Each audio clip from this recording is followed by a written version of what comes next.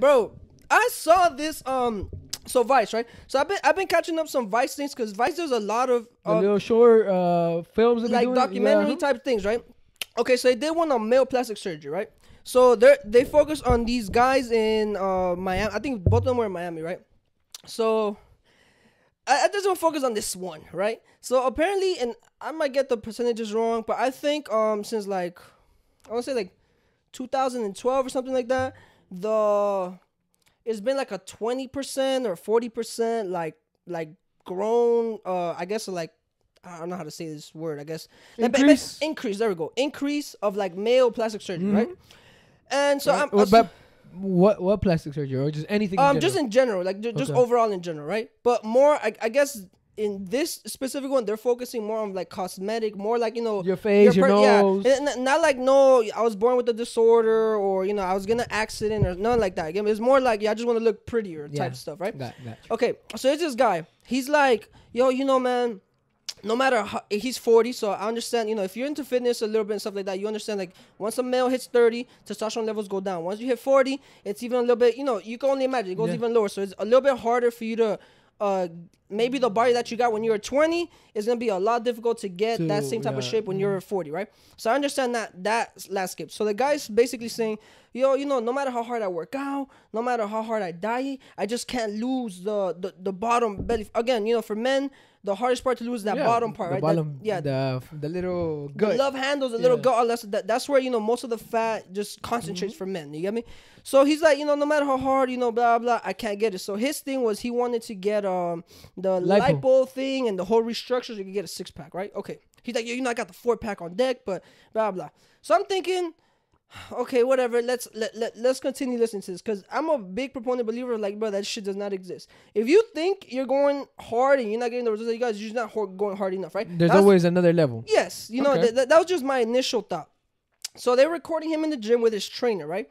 And you know his trainer's one of those trainers that's a little bit like uh out of the box. I want to say like like he's like like come on fat boy, give me more reps, give me more reps, keep that shit going, that weak ass shit. He's like one of those trainers. You get me? That He's it's like really trying to get in your yeah, head. yeah. It's like it's like ooh okay, but cool, wh- whatever. I, I'm like I don't know if this is the best trainer for this person because clearly the minute you go into I want to do plastic surgery, it's because you're insecure. Yeah, You get me? yeah, yeah. No, no matter how you want to put it, you could put it in nice words. you're, not- you're not when- satisfied with how you look. oh, Exactly. sure. And, and, and what I mean by nice words is that some people might put it like, no, you know, if I just like, you know, uh, put this up, and I feel a little bit better. It's insecure at the end of the day. You get me? So I don't think that that kind of training style to where this guy is psychologically at is the best, but whatever. It is what it is, right?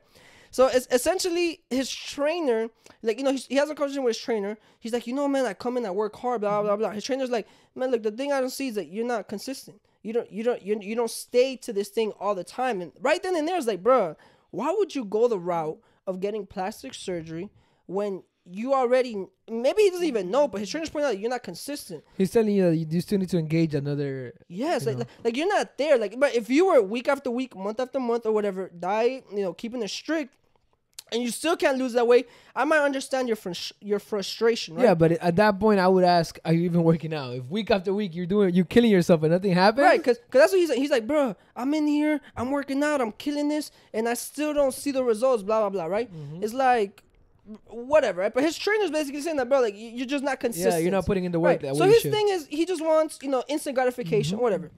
So I'm thinking this whole time, like, okay, you know, let's go through it.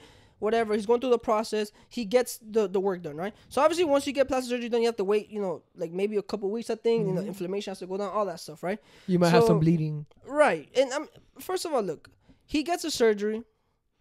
I don't think it's impressive at all. First of all, But he gets he gets the lipo or he gets the packs too. So yeah, yeah, you, so you could get the fake. No, he didn't get the fake packs. What he did was he got the lip, the lipo. I guess what you want to call it. You know, they they sucked out like fat from here, from the back, all of that stuff, right? And he didn't get the fake abs or nothing like that. It was just his whole thing was he has the four pack, but he doesn't have the the last two or whatever. So he just wanted to lean that out as Yeah. much as he can. The okay, this is the thing with that though, and the reason I'm giving this guy flack for it is because, bro, if okay, first of all, if you can't get there naturally, right, just lose that fat naturally, and you go and get surgery, that just tells me that however it is that your lifestyle is going, that fat's gonna come right back into Yeah, it. you're gonna you're not gonna be able to keep it off. Exactly. Like uh, so that look is only gonna last so long until you have to once again Mm-hmm. either go through the surgery or realize, all right, but maybe I do have I to gotta put in the work. Right. Yeah. So, uh, that, that that whole case was so weird to me. Um, the other case was this guy. He was doing, you know, PRP is right. Like, uh, the, that they get your blood, they spin it, and like it turns into, I guess, plasma or whatever, and they inject it right back into like uh, certain spots. It, it so okay. So I know it more for hair, hair, uh, for hair loss, right? So Tory Lanez talked about it a lot when he was on his run for this whole Chixtape Five. So you know, Lanez had like a receding hairline. Now he got his whole hair back or whatever. So essentially, what they do is that they, like I said, they take your blood, they spin it, they inject it back into the follicles, right, so it could grow. And then they do this with.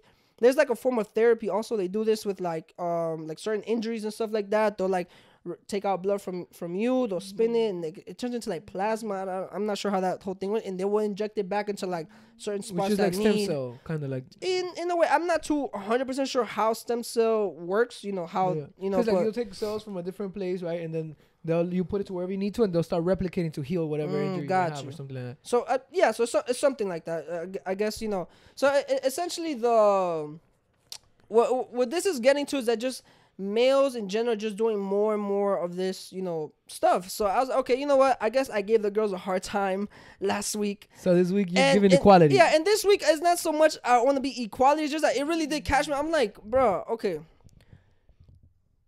The the fact that like I feel like we're getting to this point now where it's like, okay, women have come to this point where it's like, okay, well, you know, we need to be equal like the men, right? Men are not. This is almost like evolutionary thing now. Men are not getting to the point where it's like, well, you know what? If girls could wear wigs, if girls could wear makeup, if they could wear a, a, whatever Spanx to snatch the fat and it doesn't look crazy, then I can go ahead and get me when I'm bald. I can go ahead and get one of those little, Yeah. you know, uh, lace front The- the things. crazy things yeah, going yeah, on, I can go ahead and get fake muscles. So this is becoming like a. I don't know if this is like really happening or is this becoming some form of comp I don't understand what the fuck is going on. This is why I kind of want to give the guys a little bit of shit for this cuz I just I'm not in I just can't relate to that like in any sense. You get me like like like you know guys for for the most part there's a, a big meme going on around this week It's like um bro like guys they can't wear no makeup they can't wear no wig no nothing so if you're ugly you're ugly and that's kind of true in, in in certain In senses some sense, i don't yeah. want to sound shallow but you get what i'm getting at you get me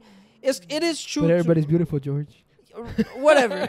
yeah, I disagree with that. But you get what I'm saying. That like, like there is no like Yeah, like thing for you guys. to update uh, or upgrade who you are. Right, like, it, and if you do it, it looks weird. I mean, we've seen it all, all the time, right? Like, you know, guys, the the whole Beijing thing and like the black. I mean, it looks even when DJ Khaled does, it looks weird to me. Like, it, it looks like, like so. Khaled Khaled has a beard, right? You see him get the haircut and everything. Like, he had you see that line that like right like I can see it. Like it's, it doesn't look I don't know man I don't know.